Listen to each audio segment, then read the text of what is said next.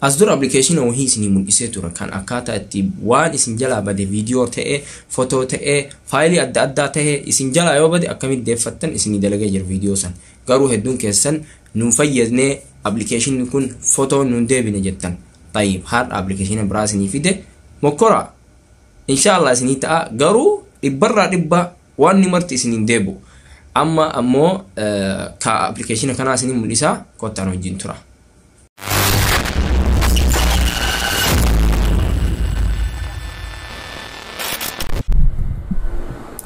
Appilikeeshinni isa kana miidiyaa rikeevar ka jedhu kana isa kana rakkoon isaa tokkichi beeksisa baay'ata waan biraatiin ammoo appilikeeshinni hanga tokko ni baasaa jedheetiin yaada as keessaa ni filattanii languujii barbaadan ingiliffa arabiffilleen jira.